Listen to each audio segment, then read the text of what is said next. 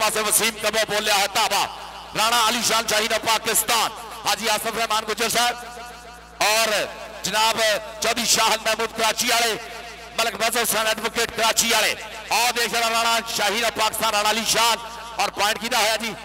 अब्दुल्ला रंधावा साहब कहते पॉइंट होगा वसीम कबो का वसीम कबो आ जा। भाई तुम ना